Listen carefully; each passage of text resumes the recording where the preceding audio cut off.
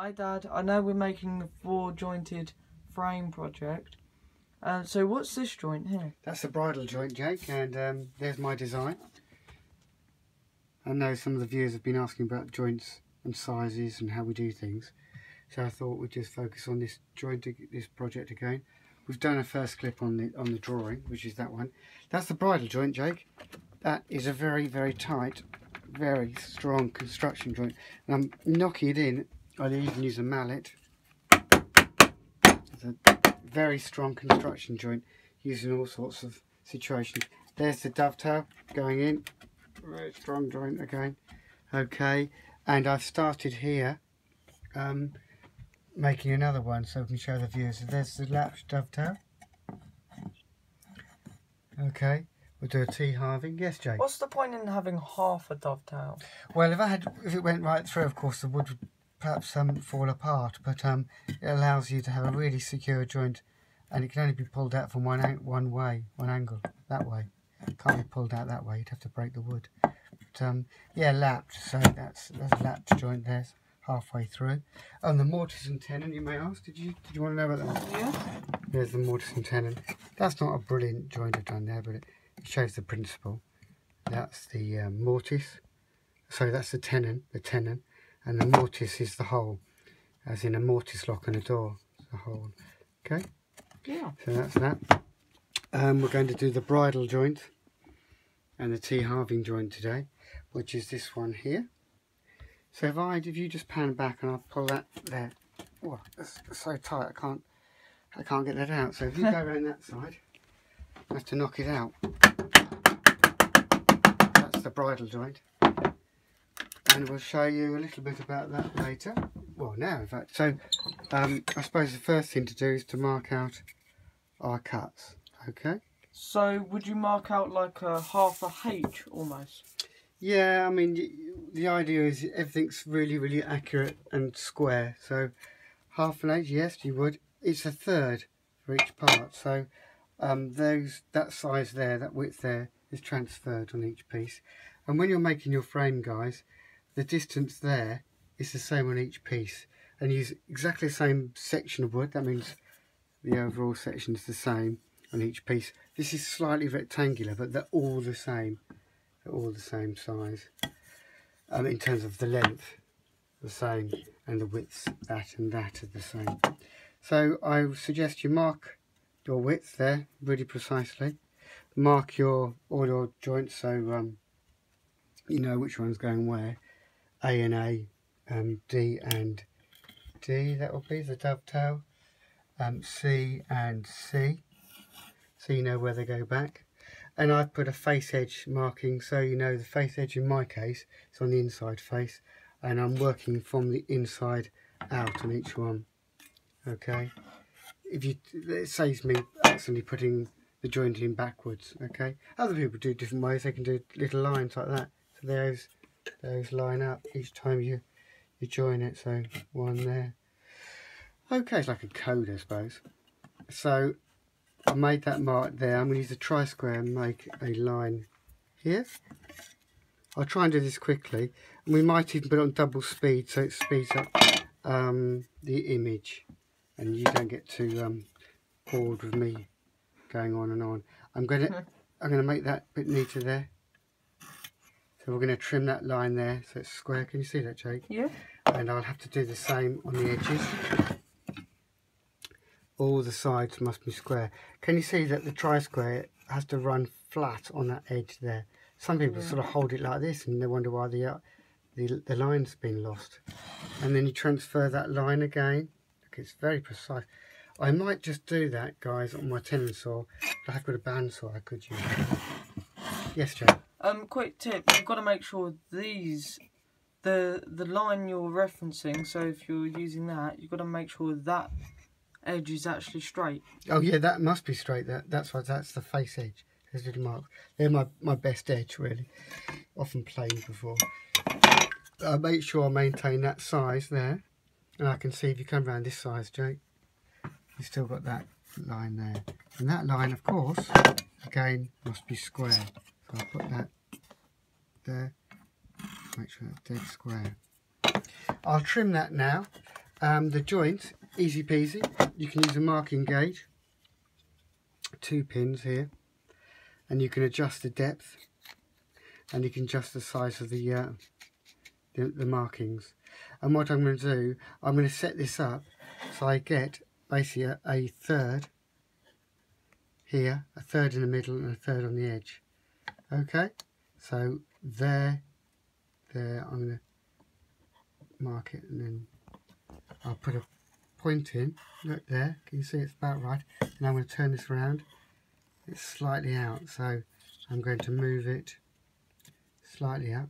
Bit fiddly this job. And turn it around. Nearly there, okay. Do the same again. Okay. Right, what I'll do, I'll come back to you when I've marked it up. But what we'll have, I think that's it. We'll have a line here, a line there, and then we'll have a line across there. Now, I wonder how I did that. To put my finger on there, there, find my position, then move the pencil into the position I wanted marked on my marking gauge. Make that line, and then I can reposition it. That's the dot there, which is correct. Correct. Maybe on in the marking gauge, you can actually run the marking gauge down the line. I'm just going to adjust that so it is really precise. This is quite tricky, these marking gauges. Once you've marked it, you'll realise why.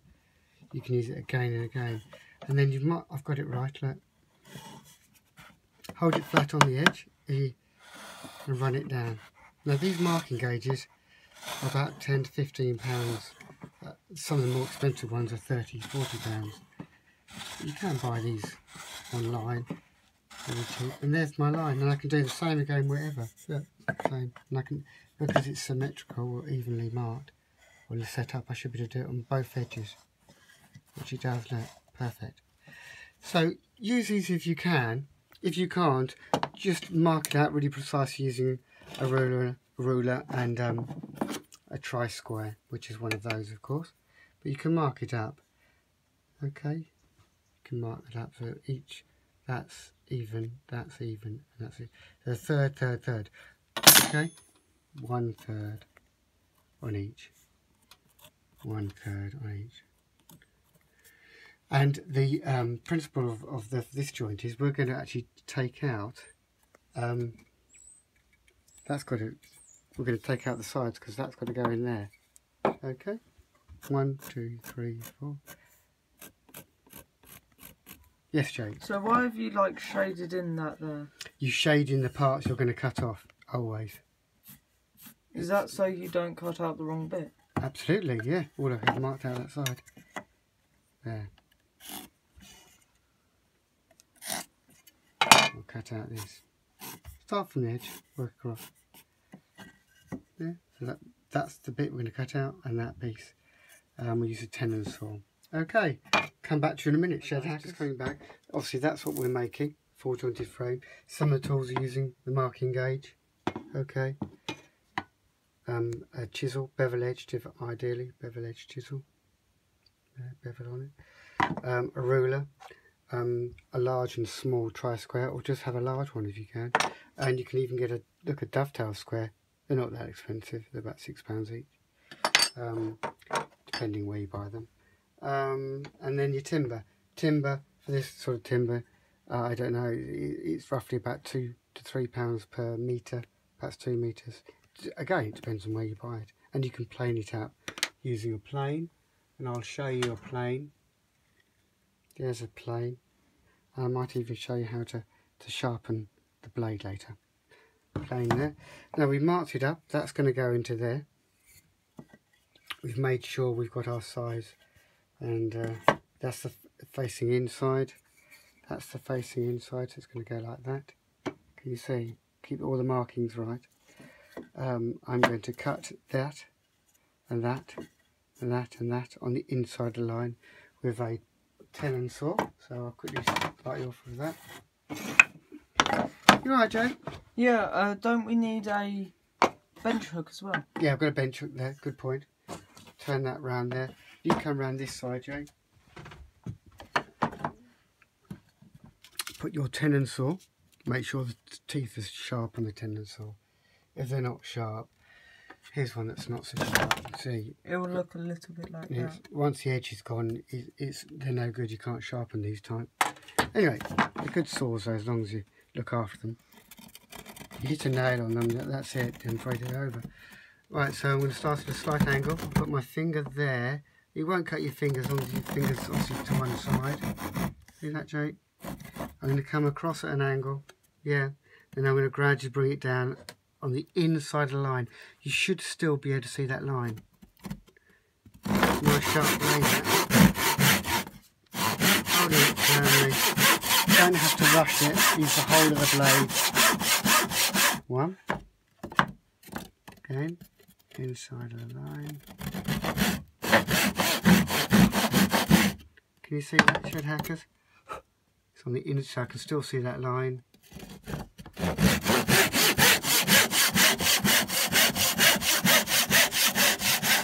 You might ask what would happen if you went over the line. Well, it would mean that your joint would be uh, not very precise. It would be all wobbly, wouldn't it? Okay. There's one. We'll do the same here.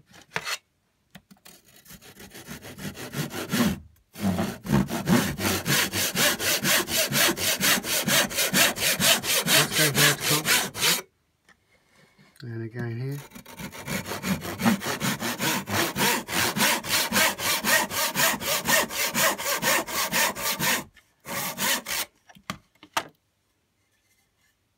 We're going to cut out across there. What I suggest you do, do one in the middle.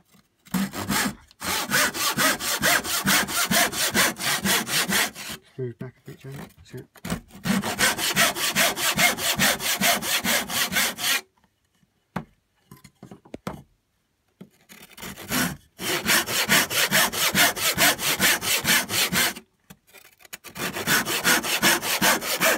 Now I'm doing this really so it's easy for you to then chisel it.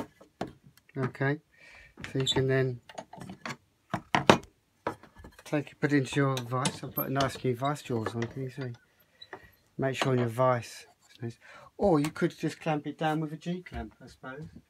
And a G clamp looks like this. You could just do this if you haven't got a vice at home. You could clamp the wood down onto the bench here. You could clamp it down, couldn't you, if you wanted to. Um, And that's what a G clamp looks like. that's the G clamp there, yeah. And then using a mallet, could you pass me that mallet, Jake? Yeah. There's a mallet. Don't use a, a hammer on a chisel, you'll damage the end. Okay. Hot day today, Jake, isn't it? Yeah. Shorts on. Keeping it level. And the bevel is facing up.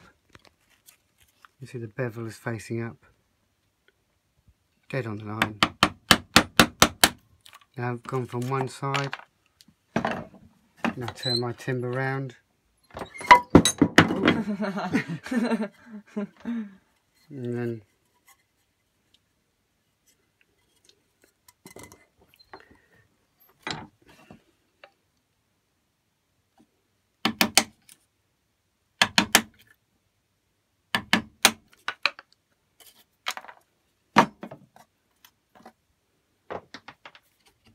So how are you doing that? I'm just doing that with the weight of my hand, that's it. That's it, that's all it needs.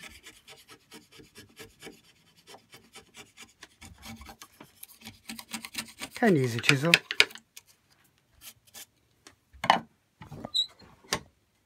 So here, So uh, could you add glue to this joint? oh, all the joints could point, all the joints will be glued. The joint gives you the construction strength and the glue um, adds to that to stop it moving once it's joined. But the joint itself should be strong enough pretty well to support what you're doing.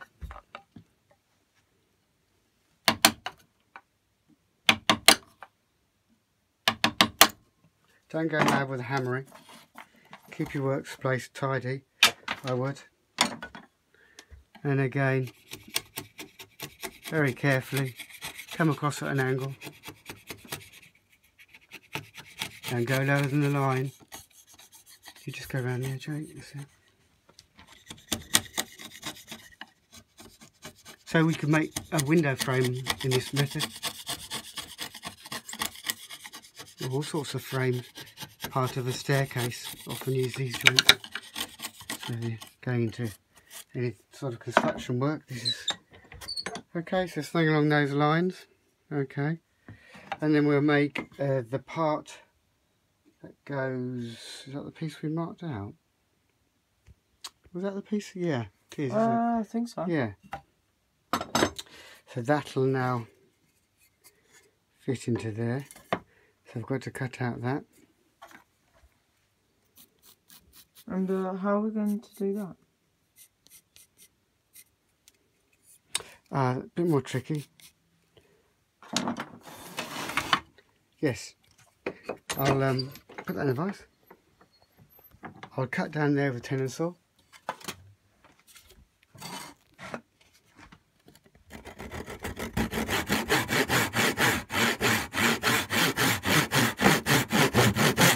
Go right down the end, doing two angles. That way, and then do that way, and then that way, and the same on that one. Yes, Jake?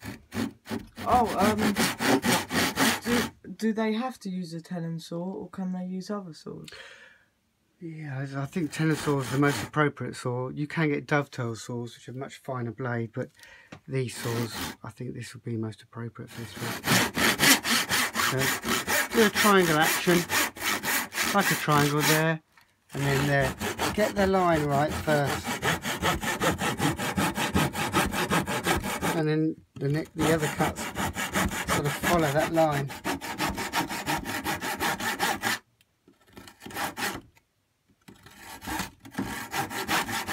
Okay, come back to you when we've done that. Jake, you're asking about types of saws. Um, that's your um, tenon saw. That's a dovetail saw, which is a smaller version of the tenon saw a finer blade. This particular type you can actually sharpen if you've got very fine needle files. And then you have the um, rip saw. Okay, these are the much larger ones. And the teeth per inch vary. The finer the teeth, the finer the work you can do. But you can get, I think this is something like 7 or 8 TPI, teeth per inch. Um, but you can get 10 and you can go down to about 5 teeth per inch, which means it's, it's a very coarse grade gra um, cut. And um, it, it can be used on rougher work. But the finer the teeth, but you suppose you could use that, but it, it might make your job a little bit tricky. Okay, but Mm. good question. Um, so we carry on with tenon saw. This is another saw, coping saw. Uh, and this is often used for cuts um, in, in deep a depth where you can't get in with that. And you can use it for curved work as well. So that's your when we made this, we used it to, to cut that curve, didn't we? Yeah. This is a coping saw. So going back to our four jointed frame, we've marked it off. That's going to go in there eventually. We're keeping the face in mark, the face mark all on the inside together. And we're going to cut that out. Now you may ask, I could chisel it out, I could drill it out. Probably the best way, I think, um, even if you're working on site or somewhere, or is to use a coping saw. So you go down to the bottom, come up about two millimeters, start turning. It should cut on the on the stroke coming towards your body, the back stroke. Keep it level. It's so important to keep it level. I'm going to go back to the other side. Yeah, keep it level. I don't want it. That's the danger. You go over. Oh, there. And make it point just slightly up because the tendency of the blade is to actually cut it over the line. Keeping it level.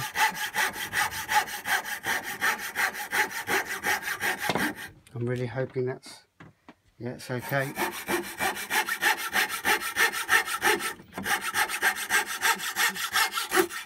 Okay, Oh, and there you turn it around, get it nice and neat. It must be level.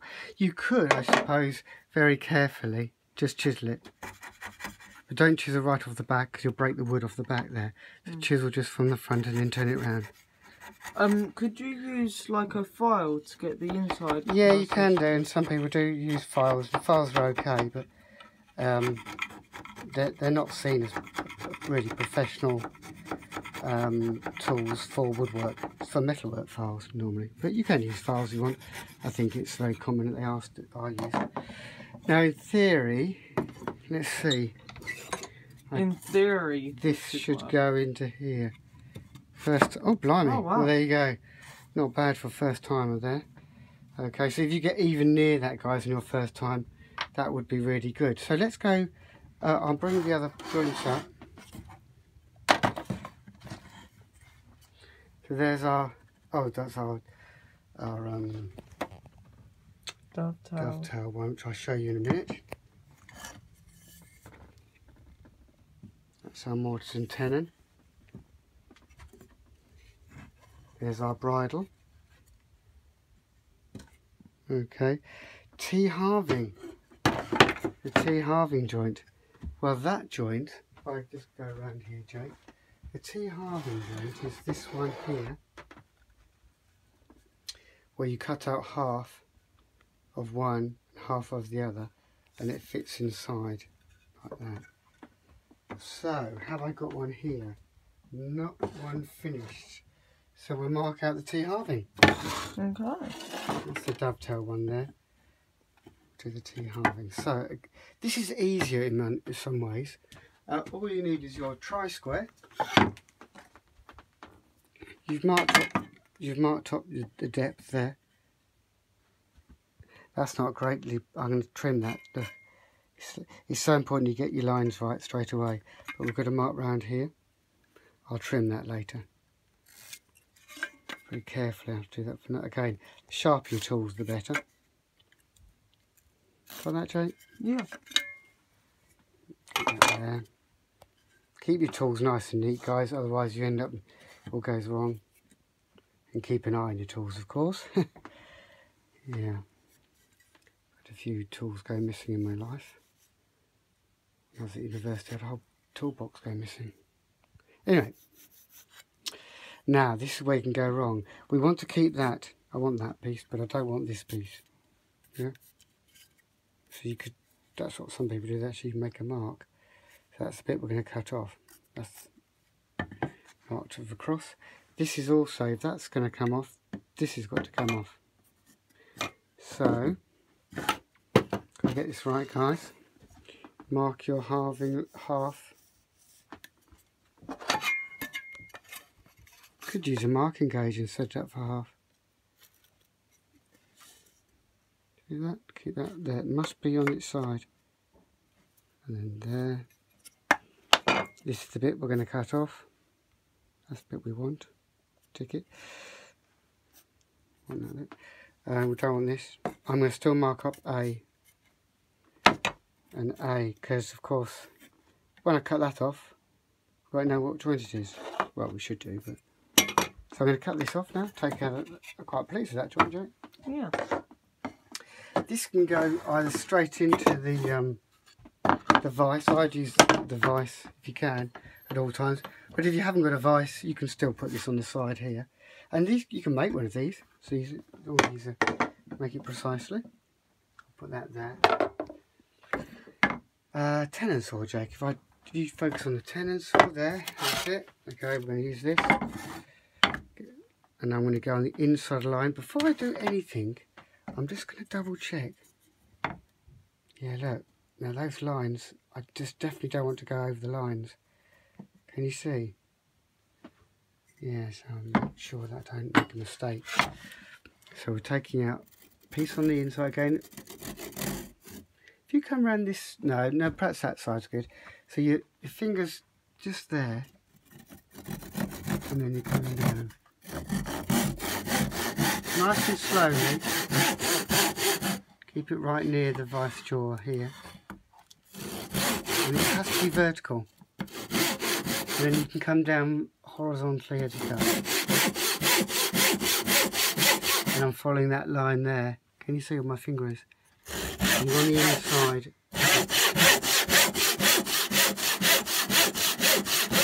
Down to the middle. Okay. So this is a halving joint on the inside there.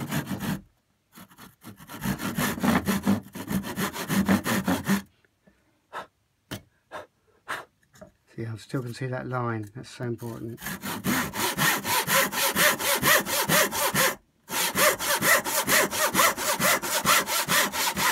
There.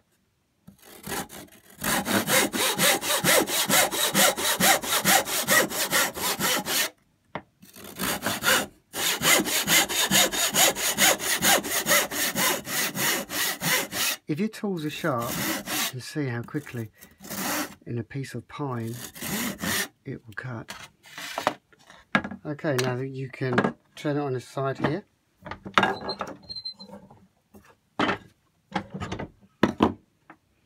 You could um, G-clamp this if you wanted to again onto the vise. You could G-clamp it and then you could chisel it. But I always like using the vise where I can. Put it in above the vice jaws. These are the vice jaws. And Ooh, they look nice and new. yeah, I did it, I did it especially for this clip actually.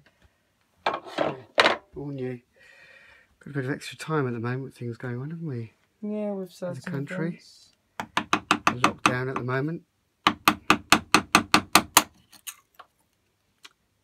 Yes. Bank holiday. May 2020. No, April 2020. Oh, Easter. wow. Country's on lockdown at the moment with a problem with virus. But we can cope, I'm sure. I hope. As long as we stay in and uh, Stay safe. Now, I haven't marked the line there. Halfway. bit silly. Yeah. Now we're going to cut that there. There. Coming up. Don't be tempted to dig in. Come up just slightly. And they're only small taps. Can you see, Jake? Yeah. Oh, I did small taps.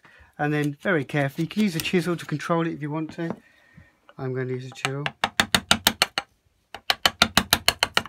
Don't be tempted to chisel right off the edge, otherwise you'll break that edge off. So come from the side. Okay.